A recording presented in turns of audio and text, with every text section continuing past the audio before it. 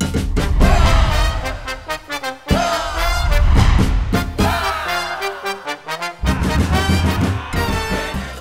El tsunami azul continúa arropando con más fuerza a Puerto Rico. Cientos de miles de novo progresistas siguieron la ruta de la marejada del triunfo para recibir con entusiasmo y algarabía al liderato del PNP, compuesto por su presidente Luis Fortuño y su esposa Luce Vela, el comisionado residente Pedro Pierluisi y los líderes legislativos Jennifer González y Tomás Rivera Schatz, quienes llevaron el sólido mensaje de voto íntegro por el PNP y a favor de la estadidad este próximo 6 de noviembre.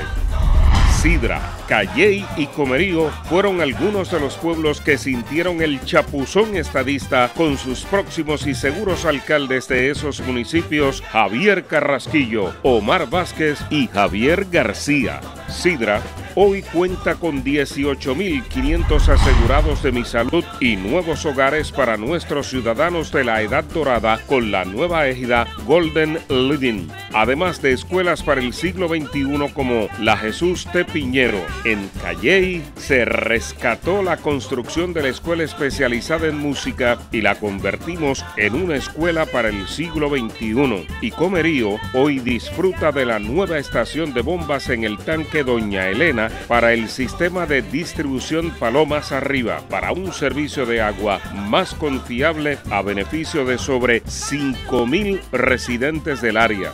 De igual forma, Aguas Buenas y su candidato azul, Javier García, recibieron el tsunami en el municipio que ahora brilla más que nunca gracias a la Escuela para el Siglo XXI, Dr. Albizu Campos y la repavimentación extensiva de las carreteras PR 174, PR 156 y PR 173.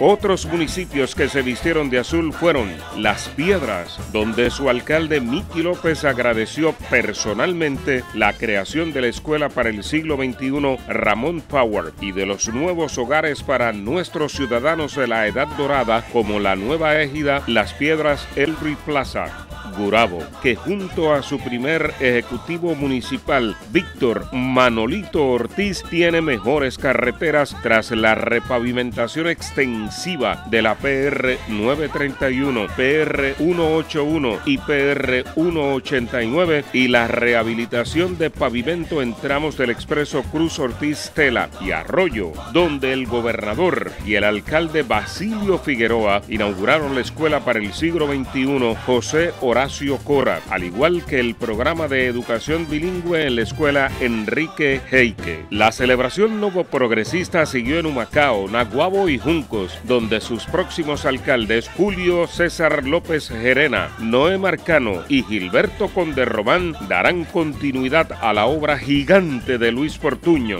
En Humacao, la Escuela para el Siglo XXI Ana Roque de Duprey y el programa de educación bilingüe en las escuelas Manuel Zurillo y Juan Ponce de León, en Naguabo, la Escuela para el Siglo XXI Eugenio Brack y en Juncos, la Escuela para el Siglo XXI Pedro Rivera Molina. En este último pueblo, 22 mil residentes se benefician de las mejoras que esta administración realizó a la troncal sanitaria Juncos Gurabo. Cristóbal Colón y Puchito Rodríguez, próximos alcaldes de Patillas y Maunabo, junto a miles de nuevos progresistas, se empaparon del triunfo novo progresista con la llegada del tsunami que pasó por sus municipios que hoy lucen espectaculares. En San Lorenzo hubo fiesta grande junto a Luis Fortuño, Pedro Pierluisi y su próximo y seguro alcalde Emanuel Figueroa. El gran cierre fue en Caguas. Un tsunami de